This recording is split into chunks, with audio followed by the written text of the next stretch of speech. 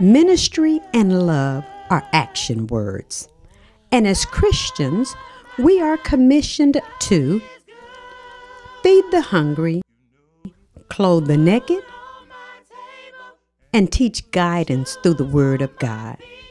That's just what we're doing at Hearne Avenue Church of Christ, where everybody is somebody.